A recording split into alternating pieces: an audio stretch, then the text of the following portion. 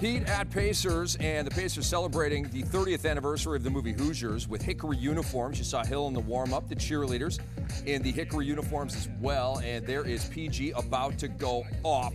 Chris Bosh was nice as well, 21 and 11 for the Heat. Good job by Chris Bosh. Just love to see he's back playing.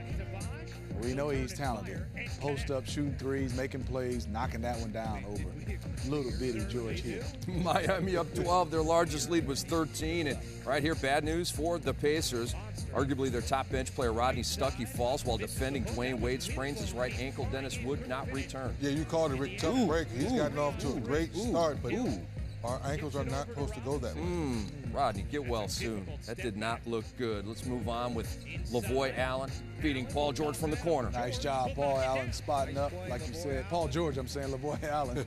Paul Allen, that's the Blazers owner.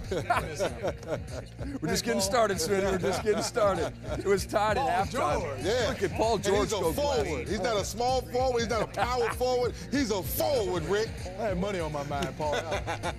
a lot of money on your mind, too. Yeah, he, did, he does not want that tag of power forward, Paul George, but he's pretty good at playing. In fourth quarter now, Josh McRoberts to Justice Winslow, 13 and 8 for the Rook. Nice job, young mm-hmm. fella down there banging. Too many dribbles, nobody came to dig it out. Paul George going to work. Mario Chalmers in the torture chamber. Yeah, mouse in the house. Okay, Winslow, let's oh. see what you got. Oh. That's good D. Okay. He's Paul George. Yeah, he's, he, he's feeling himself right now. It's one of those nights you could have blindfolded him, right, oh, Dennis? Oh, it, we always talk about, we know about his injury. It's always that second year where you get all your confidence back, and Paul George is showing We have a four-point game right now, under a minute to go, and look at that play. Wade to Tyler Johnson. He's got Boy Yoing, and we have a two-point game. Paul George splits a pair of free throws. So Miami's down three with three and a half seconds left, and this is what they got. A wild heave from Dwyane Wade. Indiana wins thought he rushed that a little bit. Smitty, 3.3? D Wade was thinking he got fouled on that play. That's yeah. why he ran right to the referee. He was trying to get up and, mm, close. He might have.